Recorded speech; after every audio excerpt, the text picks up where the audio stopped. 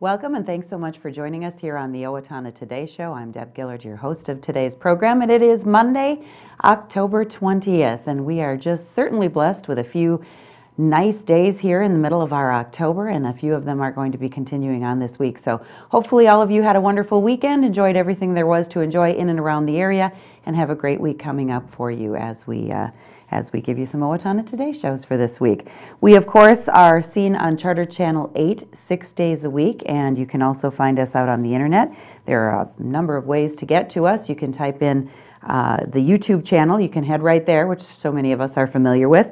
And once you're there, Owatonna Today Show, all one word in the search box, and that will get you to uh, the shows that we have uploaded on the internet. Or go to the Third Hand Video com. Again, all one word. Um, click on the Owatonna Today Show tab and it will take you to a list of the current shows. We're also on Facebook, so if you like us there, it will also give you a notification of when we have the newest programs on. So, uh, a lot of different ways to see us. We have a good show for you today. Of course, uh, we do want to remind you that if you have ideas for shows or show topics or guests or guest ideas, please get a hold of Leanne at Owatonna Today at charter.net or calling her at 390-5751 and we are happy to hear from you. Coming up, um, we're going to be heading out on location. You're not going to see a whole lot of me this time because out on location for Little Theater's upcoming production, When We Are Married, that's going to be our first show segment. A little bit later on in the program, a video with the uh, Owatonna Foundation. So let's take this first break for our supporters and then we're heading out. We'll see you at the end of the program. Hi, I'm Dr. Beth Giltvet and I'm Dr. Nick Vincelli of Horizon Eye Care. We want you to see what you love and love how you see. We're proud sponsors of the Owatonna Today Show. I needed more than just another dead end job. I wanted a career, so I expressed myself. With the kids off to college, I decided it was time for me to go back to work and express myself. Express got me in touch with some really great companies. Now I'm on my way to a great career. Express Employment Professionals is in contact with thousands of companies in need of quality employees. Come in now and get the job you deserve.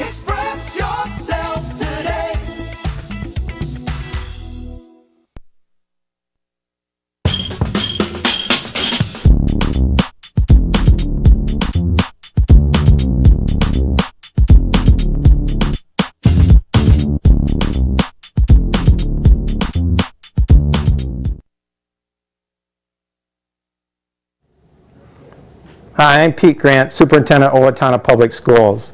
We know that the financial stability of a family depends on good education.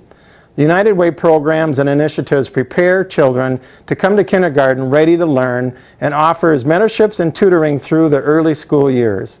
We're proud to be part of this United Way Community Campaign leadership team and encourage you to give generously this year. Our children are counting on us and we're counting on you.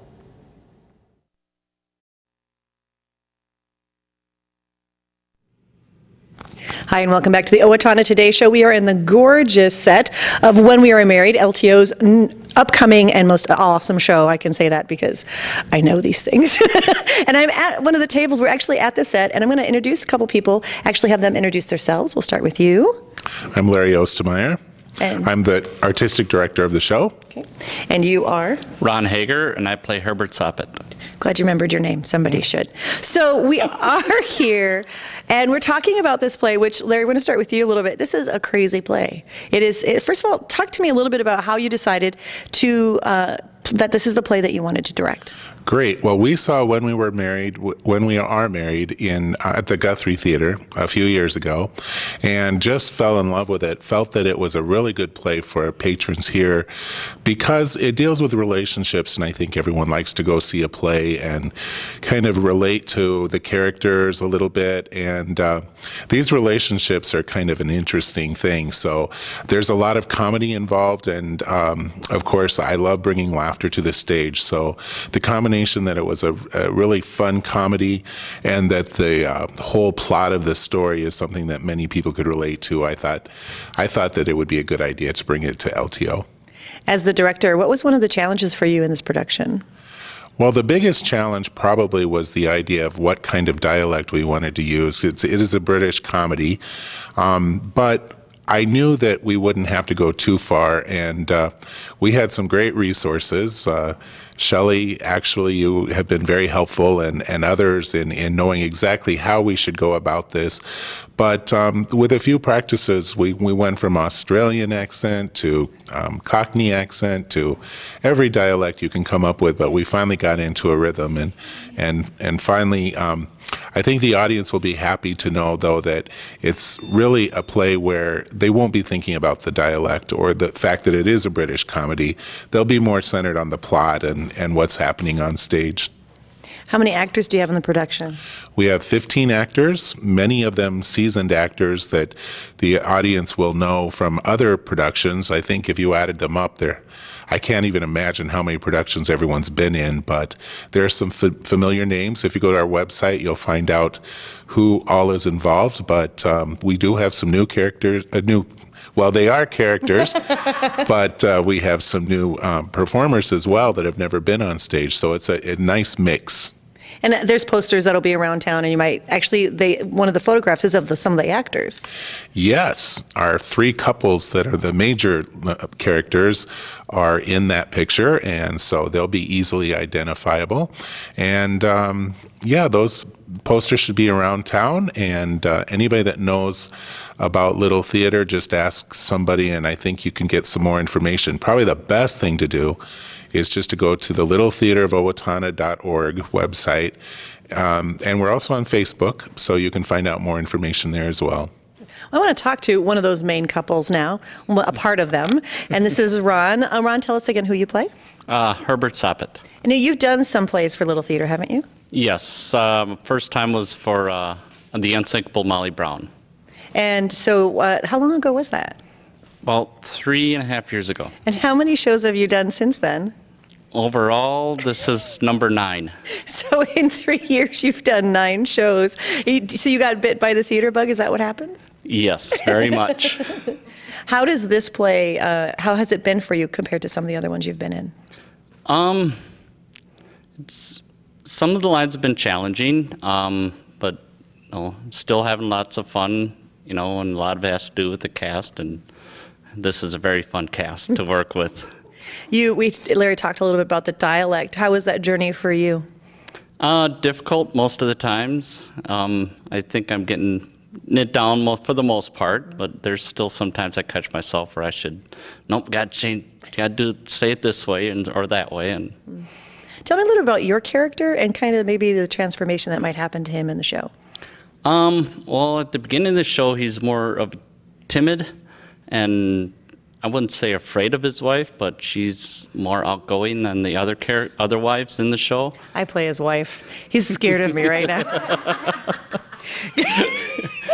um, and then there's a transformation that goes on, and I think the patrons will see it's. I wouldn't say Jekyll and Hyde, but it's more of a switch of roles. Mm-hmm. You know, one um, where Claire isn't Clara isn't as dominant as she was in the beginning of the show.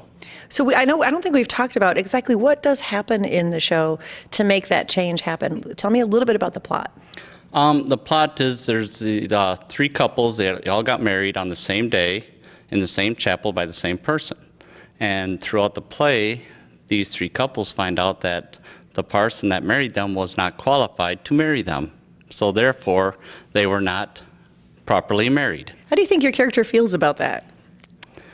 Um, a little relieved, a little bit, because of the character of his wife, yeah. and but at the same time, you know, it's like, okay, now what do I do? Mm, yeah. Good. Well, thank you for your time. Thank you. Now, would you introduce yourself for me, please?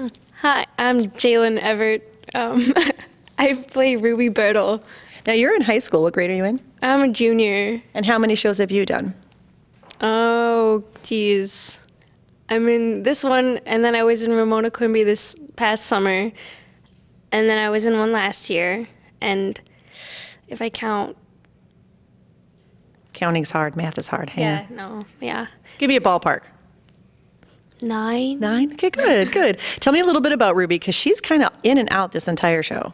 Ruby's definitely in and out. Um, she's very like full of life and really spunky. She kind of doesn't really care when anyone thinks about her. She's really kind of, you know. Would you say it was typecasting for you? Like is that like you and you're you don't really care and you're spunky? Yeah, I'm not really acting very hard. I'm just like, yeah, you know. What is it like being in a show? You, I know you've done work at the high school, and Ramona Quimby was a kid show, but these are all grown-up old people. How has that been? Yeah, yeah, she says. How has that been for you? Um, it's definitely a learning experience because I'm so used to being around people my age that um, they don't really have as many life lessons to teach you as people who are older than you do. They try to give you advice on do this, but don't do this. it's just it's it's I don't know, it's a learning experience. How do you think Ruby affects the show? What is her What is her purpose in the show? Do you think? Um, I think Ruby is kind of like a comic relief at some points. Like things can get really tense in some of the scenes, and then Ruby will pop in and she'll be like, "May's motor car stopping near the front gate," and it's just like, oh, do no. Do you need me to translate for that for you? Okay, so say it again. I said, "May's motor car stopping near the front gate." Yeah, Mayor's motor car stopping near the front gate, and that's was that a challenge for you doing that dialect? Um, like at first. Okay, so actually, when I got the role of this, I thought Ruby was Irish. so I was like hardcore learning how to do the Irish accent, and then I learned she's from Yorkshire, not Ireland. And it was definitely difficult switching from Irish to Yorkshire, but the whole English accent thing is something I adore and do at home and annoy the heck out of my family with, anyways. Oh, come to the show, and then she can annoy the heck out of you. Yeah, yeah. I- maybe not. maybe we shouldn't say that. So do me a favor. I'm going to have you be my little spokesperson. So tell us uh, when is the play? Um, the play is October 24th, 25th, 30th, and 31st, and November 1st. Uh, the matinee is October 26th at 2 p.m., and all the other shows are at 7:30 p.m.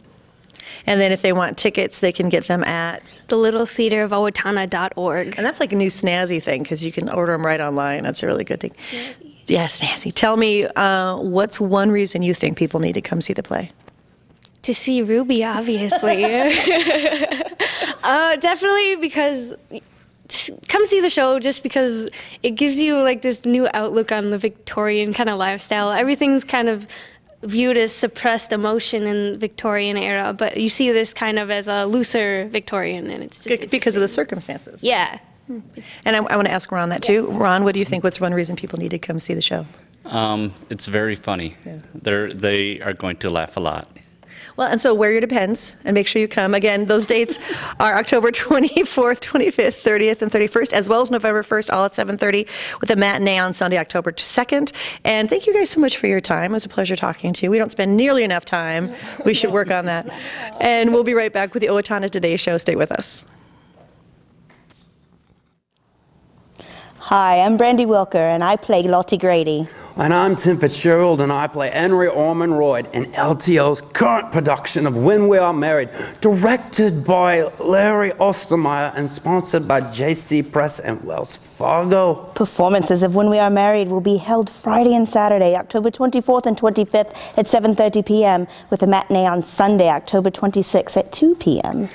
And again the following Thursday through Saturday, October 30th and 31st, and November 1st. Tickets are available at the LTO box office by calling 451-0764 or online at littletheaterofowatonna.org. Hey. Oh, Don't, miss LTO's production of When We Are Married. I'm not marrying him. Ah, but why not? I don't know. Hmm. Keep falling asleep. Oh. Just a bit of cheer. Stop drinking. Hi, I'm Rick Smith, Golf Course Superintendent of the Brooktree Golf Course. Brooktree is an 18-hole championship golf course featuring well-manicured greens, tees, and fairways. We are open to the public. I challenge you to find a better maintained golf course for the money we charge here at Brooktree. Come on out and play Brooktree, a great golf course. Everyone deserves opportunities to have a good life, a quality education that leads to a stable job, enough income to support a family through retirement, and good health. But the reality is, many children fall behind, many families are struggling, and many others are in poor health. United Way's goal is to find long-term solutions. Thanks to a grant from the Otto Bremer Foundation, we're hosting community conversations this year to address these issues. If you'd like to join us, please call our office. Hi, I'm Brenda with the Mortgage Office of Brenda Bednar, aligned with American Mortgage and Equity Consultants, where closings feel right, right from the beginning. I'm a proud supporter of the Owatonna Today Show.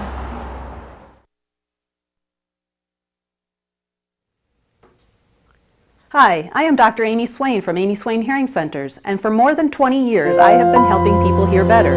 It has been a very rewarding experience, but so many people put off getting help with their hearing. Clients often tell me they wish they had started wearing hearing aids sooner as their quality of life was improved so much with better hearing.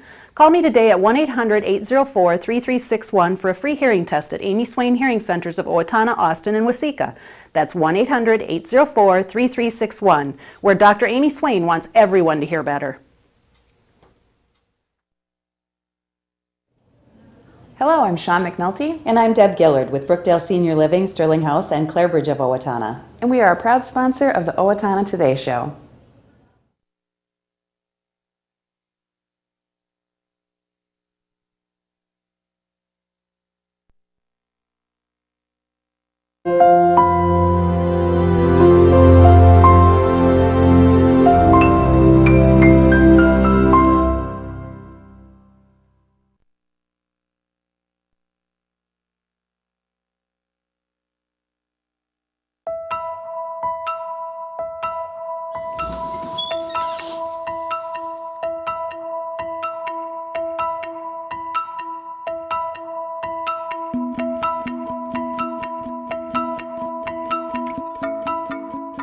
There's no question uh, that uh, over the years since the Owatonna Foundation was founded, Owatonna has become a better place to live and raise a family.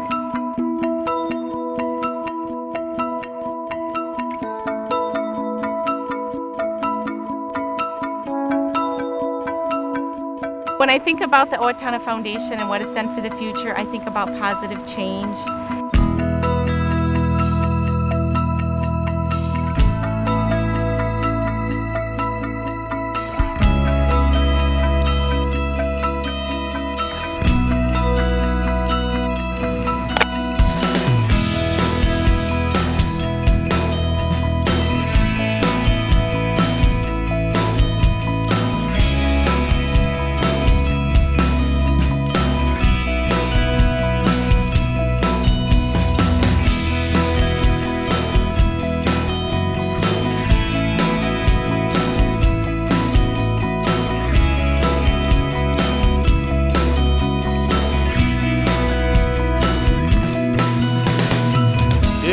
So important that the Owatonna Foundation continue in the active role that it has. Every dollar that they give to the Owatonna Foundation goes into this great community of Owatonna. Uh, that's the reason that we exist.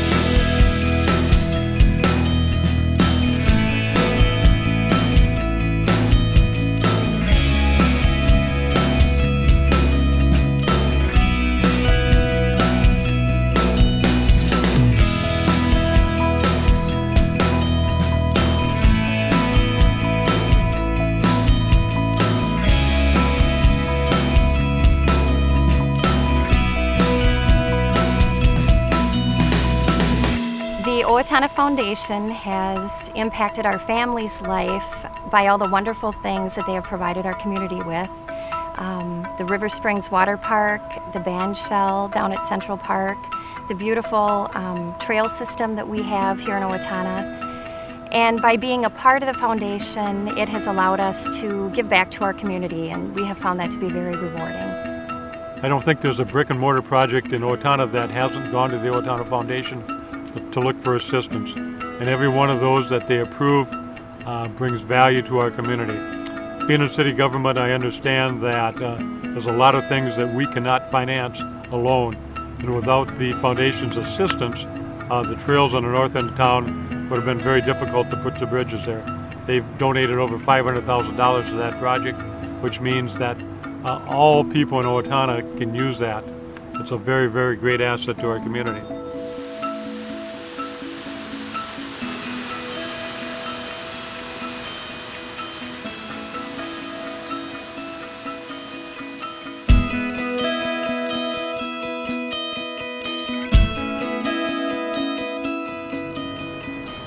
I find that in working with people when they're considering our community or another community, whatever it is, they're always impressed with what I have to share with them and what the Owatonna Foundation has contributed.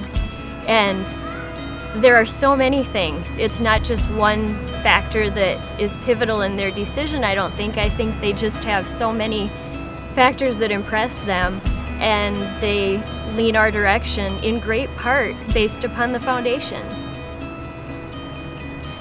I, think about the quality of life that we have here, our community assets. Um, when we're talking about community assets in Owatonna, we're talking about things that enhance where we live, where we work, where we play, where we visit. Examples of that would be like our soccer complex, improvements that we made out there, um, our food shelf, uh, the programming behind our little theater, um, our community aquatic center.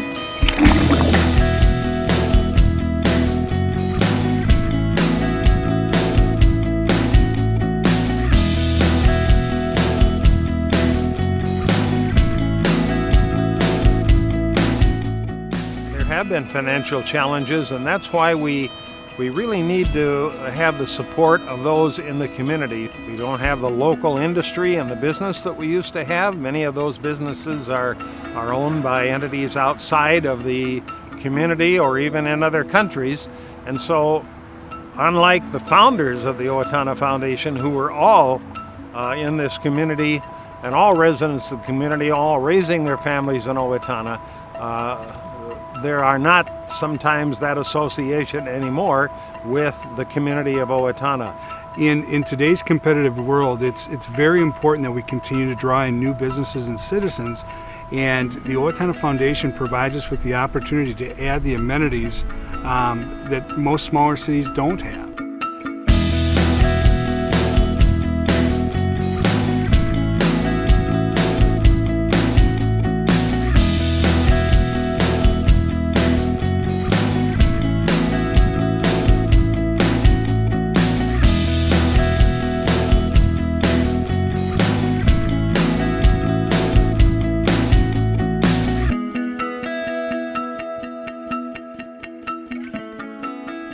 Best endorsement that I can give for the Owatonna Foundation is the level of responsibility and the care that the trustees have taken with donations over many, many years.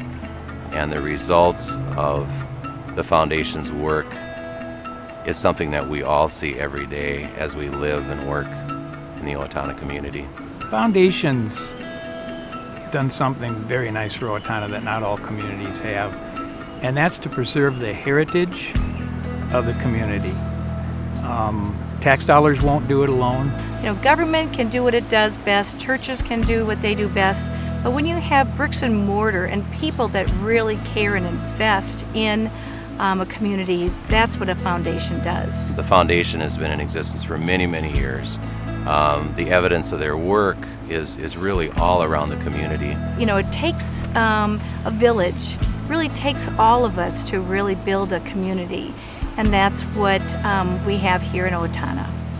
The Owatonna Foundation definitely is an essential need in our community. It's an absolute must. To me, the foundation really provides a sense of permanence for the community. Um, when I travel around the community on my daily errands or to and from work, um, and I see all the projects that the foundation was a part of, um, I know that those projects are here today and they will be here tomorrow and for many years to come.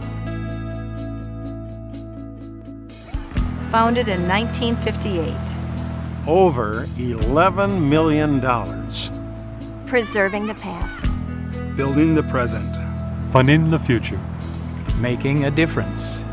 Every single dollar that is given to the Owatonna Foundation goes back into this community. Supporting community progress. Supporting community progress. The Owatonna Foundation is your community foundation.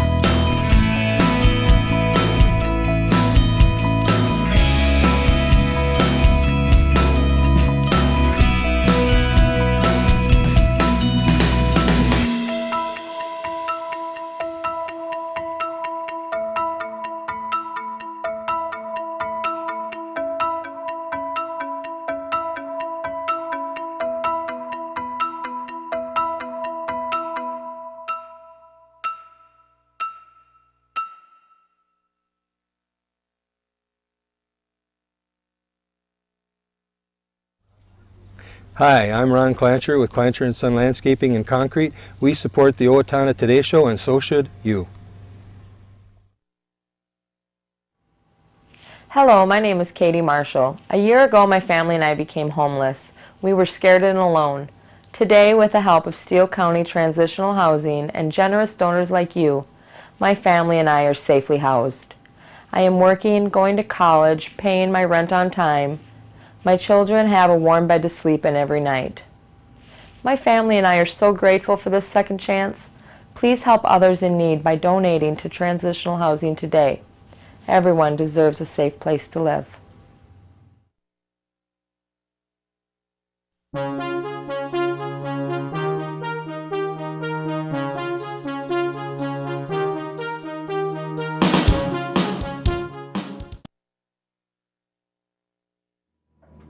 Time to wrap up the program here on this Monday, October 20th, with some announcements. The 2014 Steele County Toys for Tots Family to Family application is now available in your community. Parents, guardians must complete an application, um, which is available from the following locations within Steele County in Owatonna, um, at the Owatonna Public Library, Salvation Army, Steele County Clothesline, Steele County Food Shelf, Steele County Human Services, Steele County Public Health Workforce Development Center, also around the community um, at the Ellendale Post Office, Medford City Hall, and Blooming Prairie Public Library.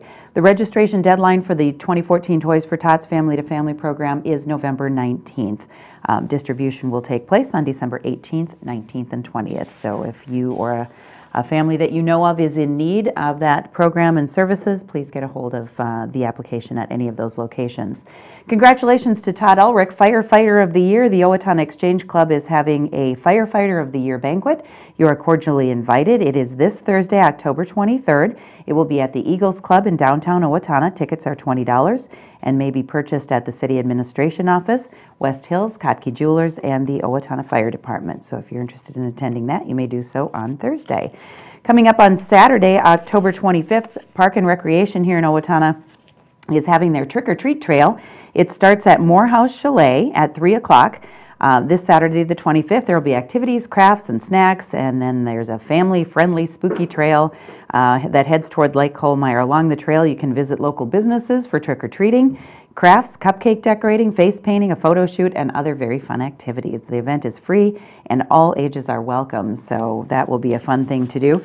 If you would like, uh, you could probably do them both, but there's some more family-friendly uh, fall festival activity going on at Riverbend Nature Center. There starts at 4 o'clock and goes until 8 o'clock, and that, of course, is in Faribault. If you'd like more information about their family-friendly event on Saturday, you can contact them at 332-7151, 332-7151. That'll wrap up today's program. Please join us on Wednesday when we will have our City Council at-large candidates here to talk about why you should be voting for them. So we will see you on Wednesday. Have a great day.